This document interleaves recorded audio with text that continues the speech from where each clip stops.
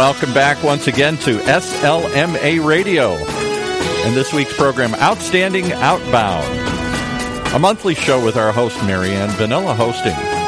Mari Anne, as you know, has been a frequent guest here in the past on the SLMA, and her new program will explore the growing field of outbound lead generation for large deals, maybe like yours. Program's brought to you by the Vanella Group. Without any further ado, let's welcome Marianne Vanella. Hey, Mari Anne. Hey, Paul. How are you doing? I'm good. I'm good. Outstanding outbound. Boy, I, I, uh, I, I, smile every time I say that because is there such a thing as outstanding outbound where uh, so much of the outbound is just garbage, it seems like? It's really funny because I actually put this tagline in one of my profiles just today. I said, It's not that people don't take calls, they just don't take bad calls. Yes, exactly. And, and there's a lot of bad calls out there. A lot of them. Yeah, really bad. And I think a lot of times organizations think that you know putting junior people on the front lines to cut their teeth on before they can get into large account management and things like that but really what they do is those are often the people that are first talking with new prospects and it just makes the thing crash on the very first interaction they have with them. It really does, and I, I know you got a guest waiting here, but I just got to bring up one one uh, pet peeve of mine. They're all following this standard script when they when they when you answer the phone, and so you weren't right. expecting a sales call, and all of a sudden they say, "Hi, Mr. Roberts, how are you?" Right. Like that's supposed to engage me immediately, and all it does is immediately tell me it's a sales call I didn't ask for, and I'm annoyed. Right. And even calling you Mr. Roberts, it's like, okay, why don't you put your teacher on the phone? yes, exactly, right. A lot of times, reps that are inexperienced, they kind of make this immediate class distinction by talking up to their prospect. So it creates this lack of respect that you can't even have a peer to peer discussion when you do that. Yeah. Well, I look forward to hearing more about can there be such a thing as outstanding outbound because it seems like we're just getting worse and worse at it. It's getting more robot, robotic. I'm less and less likely to even want to uh, yeah. engage with them after the first second. After, as soon as I find out what that it is, I, I'm annoyed and I want to quit. Right. Yeah. So yeah, like talk like a normal person. You know? Yeah, exactly. yeah, exactly. Well, today my guest is Dan Sixsmith, and he owns a consulting firm, Sales is King Performance Consulting, and he's also CMO at Augmento Agency. So he's a, a well known consultant, speaker, trainer, coach. He's a very active blogger. He serves as a CMO on a board of a nonprofit organization. They um, work with protecting teens from substance abuse and, and he talks a lot about that personally, you know, to help out kids. And so today what we're going to talk about is what sales leadership is in denial about. So I want to welcome Dan. Thank you. Happy to be here. Yeah, I'm really, uh, really exciting to have you. I know you and I have talked a lot about different stuff that is just really broken on enterprise sales teams in that B2B space. And you and I were talking about the show, and the areas it, that we're going to get into are things that are so often overlooked, but really need to be looked at to stop losing deals for ridiculous reasons. And, and a lot of this stuff just persists, and it's so hard to get everyone to slow down and just re-engineer some of their workflow and some of their management processes. And i see this happen over and over and companies add more tools and more reps and more data platforms but the same stuff is happening behind the curtain. So what do you think are the three biggest areas that sales leadership is missing the mark on? You're absolutely right and just kind of piggybacking on what you guys said at the beginning only 17% of reps actually get a second meeting. So that just goes to show how bad the performances are. But it does come back to the sales leadership, and I think there's three key areas where they're missing. First and foremost, they're hiring the wrong people. There was a stat from the Objective Management Group that said leaders are hiring sales, the wrong salespeople 77% of the time.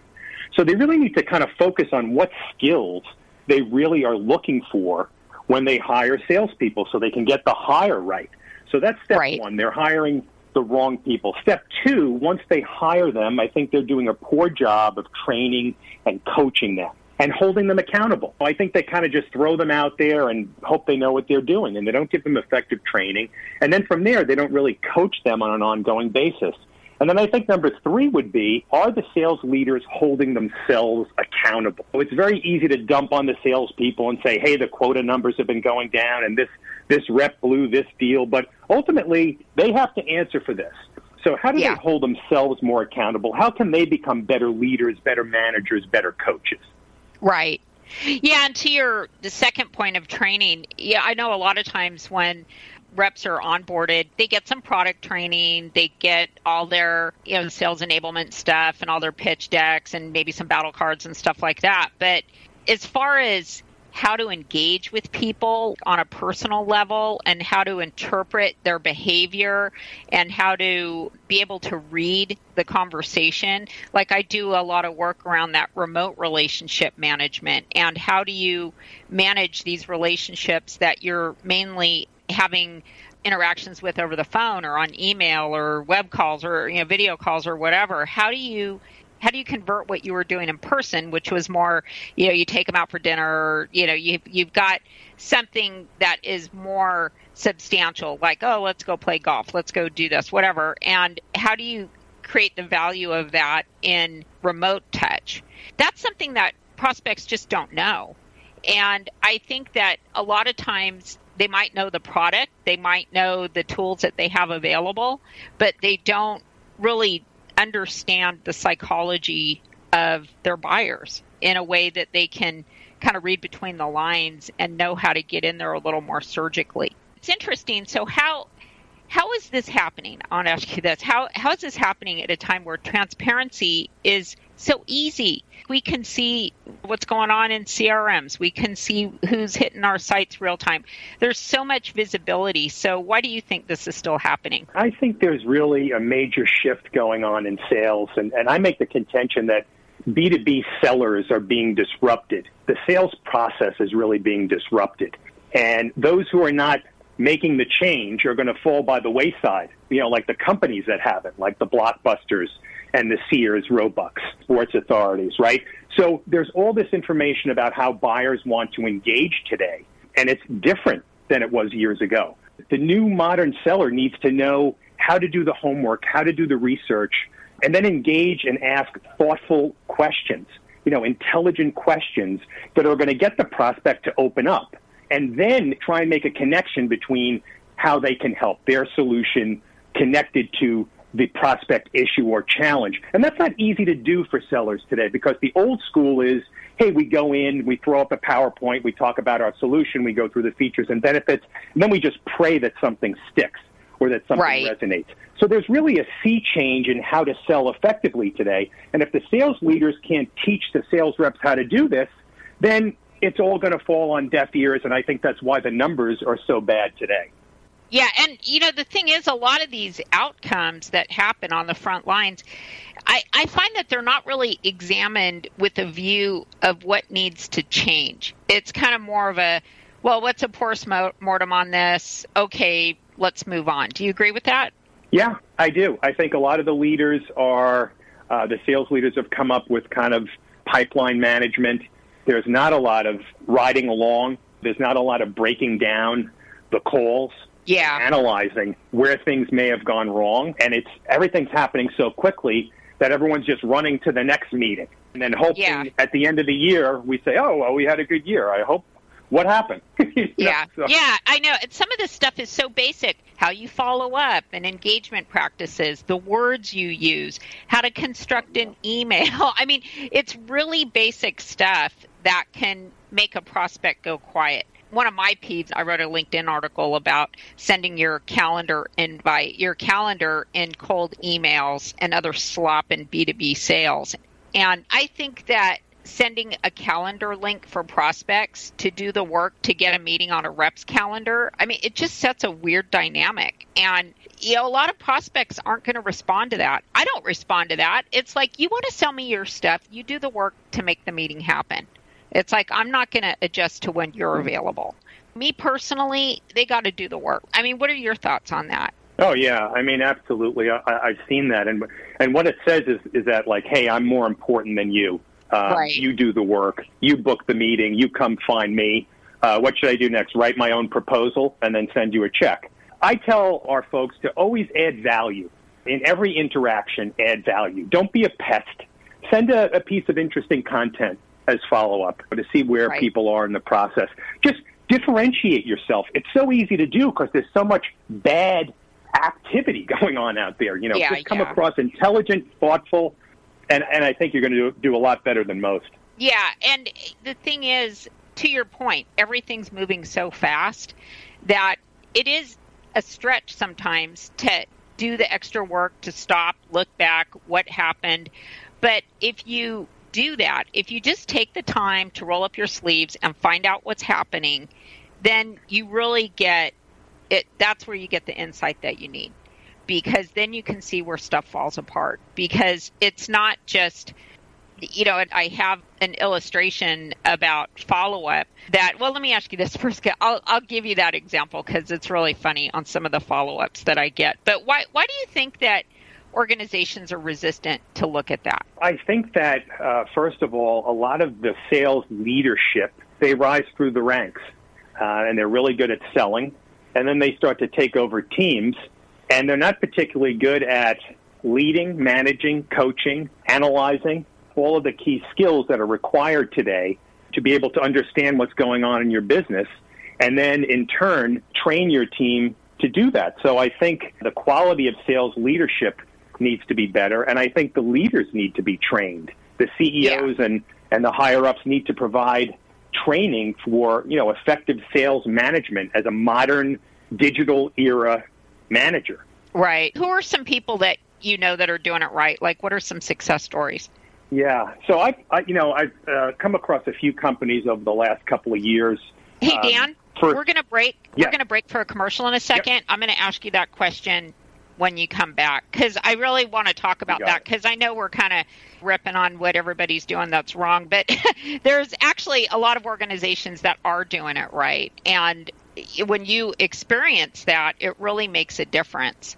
So I'm going to hand it back over to Paul and we're going to go to commercial break and I'll be right back.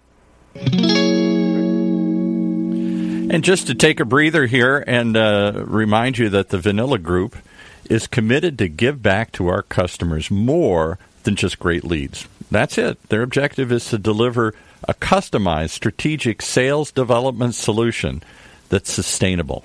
Isn't that the key? It's got to be something you can do over and over again.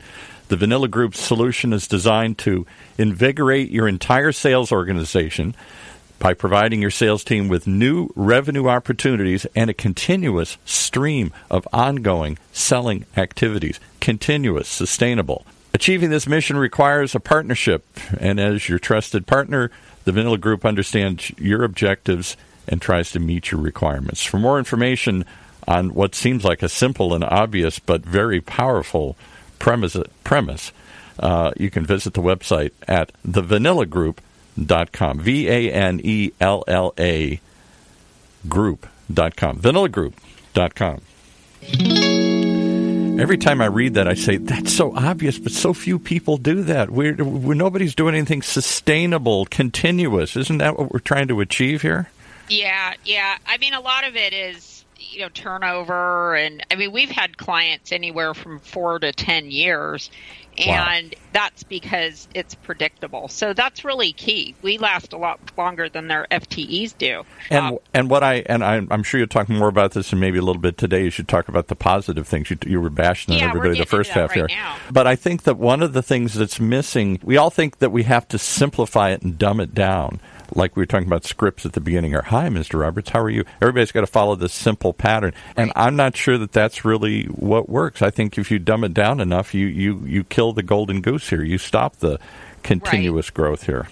Right. Well, what you really need to do is not dumb it down, but you need to step it up. I mean, Ah. you got to have people that can have really sharp critical thinking skills on the front lines. You got to have people that understand how to map what's going on in these accounts to actionable items and how to map that so that they can pivot their discussions and get the information that they need to be able to progress the deal. So I think a lot of people are kind of in this pushing information. Yeah, right. Really, what you need to do is pull information. And so, Dan, I just asked you who's doing it right. Why don't you name a few examples? Yeah, sure. So, to be fair to some of the sales leaders, they are running around putting out fires, right? So, yeah. organizations are layering in these sales enablement functions, groups that are coming in to work with the sales leaders, to work with the sales team, to train and coach. So, over the last couple of years, I've worked with a few different companies. First Union is doing a great job. Chris Kingman and his team. They put in very elaborate training and coaching and education and that is repeated. You know, the whole thing about this is consistency, right? Companies Right. will bring in trainers, right? And they do this fabulous training and then everybody runs off into the sunset and 7 days later they've forgotten it all. So Right. they have these consistent coaching programs where the reps are constantly being evaluated. Um, people are listening into their calls because a lot of their business is done on the phone. They're reviewing the calls, they're breaking down the calls, they're trying to help them and talk to them about where they can improve, what they need to do better, or where they where they've been going well. Ring Central is another one. Siobhan Thatcher and her group, they're in the unified communication space and B2B. They've put together a similar program. Pegasystems as well. You really have to invest in the people, in the training, in the coaching, and make it an ongoing and consistent process. And then you start to see it become kind of a culture, right? So there's a culture of learning, a culture of Yeah. coaching, a culture of sharing best practices. That's how people get better. Right. So those are a few examples that I think people are, are doing a great job. Yeah, no, that's great. Like I said, there's a ton of people that are doing it right. You know, they look at the sales operations function. So whether they have somebody in that role or not, sales operations is a function. You have to get in there and look at, okay, what step happening here? Gary Gross is operations guru that I know, and he's got a really, really tight infrastructure that he overlays on to organizations he works with, and there's nothing falling through the cracks there. So it really makes a difference because you can see that there's not all these blind spots that are going on. And you're right, a lot of it is just being busy. Quotas are you know growing. And one of the things i mentioned we were just featured in silicon valley review. And one of the things or silicon review sorry uh, one of the things that i mentioned is that the vendor space is more crowded. Therefore there's more teams there's more outreach. So there's a lot of noise out there. So the pressure on reps is huge, but there are things happening which are totally unnecessary. For example, I had one, it was an enterprise big company. All of you know who it is, I won't say it, and that we needed to buy something from them. And I inquired and we bought their platform, but they had SDRs following up on that initial lead months after we already bought the platform. Talk about broken. Obviously, their CRM isn't integrated with their automation, with their forms, with all this other stuff. Maybe they're using a third party to do that. I don't know.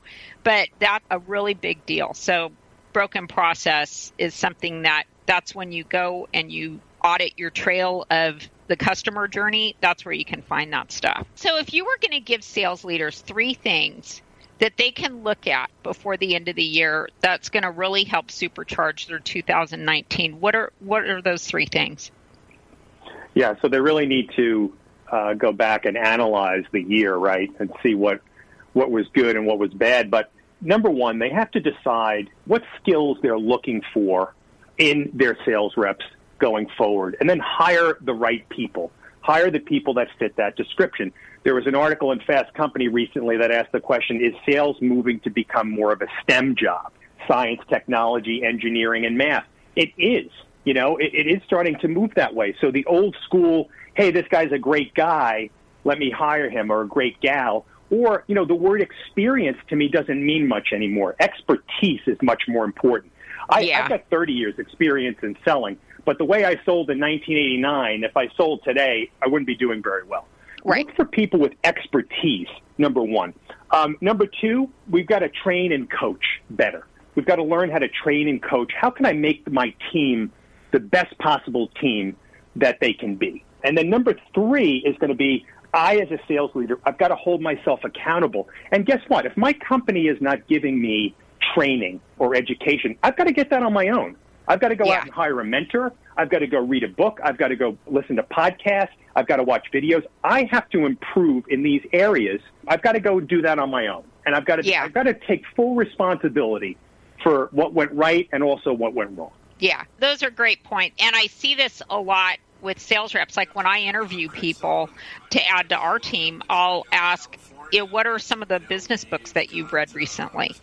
And a lot of them haven't read anything, or a lot of them don't have anybody that has Mhm. really stood out to them in the space. And that tells me a little bit about them. And I know just the, the whole idea of listening and uh, you know having those types of skills and being able to solve problems. And how did you solve a problem like this? How did you address a customer like that? When did you go above and beyond what was really the scope of your role to be able to help a client when they were having a problem? You know those types of things are meaningful because that'll tell you how much they're going to personally invest in themselves to get better. Because just like you were saying if you were selling like you were 15 years ago or whatever, it's like it's not the same today. You have to understand the digital landscape and you have to understand that information is out there. You can find out on your own. You don't have to chew up time with your prospect discovering things that you can find out on your own. So that's really, really important. So, Dan, how can people follow you and engage with you? Sure. Sure. So um, I've got a podcast called Sales is King, which is um, available on all the major platforms iTunes, Google Play, Spotify, Anchor.fm. I've been doing that for about a year and a half. We've got 71 episodes, and we go through a lot of these issues. Sometimes we interview players from the field, other times we're just kind of breaking down some of the latest trends and a lot of these issues that we're wrestling with today. You could shoot me a note at dan.sixsmith at Gmail, and I'm on uh, LinkedIn and Twitter at Digital Advantage. Yeah, I really appreciate you guys having me on today. It was a great conversation. Yeah, thanks, Dan. I really appreciate it. I will hand it back over to Paul.